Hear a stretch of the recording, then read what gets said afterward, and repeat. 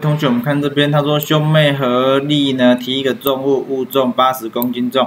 那距离哥哥一点二公尺，距离妹妹一点八公尺，达到尽力平衡。那所谓的尽力平衡就是合力为零，合力举也为零，不移动也不转动。那磅重可以忽略。那问我们说妹妹上提的力量是多少？那我们看一下这边，我们可以发现它有受到三个力的作用，一个是妹妹往上的力，第二个是哥哥往上提的力，第三个是物体的重量。那我们要算妹妹的话，很简单，我们就利用哥哥这边当支点，好，那利用这两个力矩相同，杠杆原理。那妹妹这边产生的是顺时针方向力矩，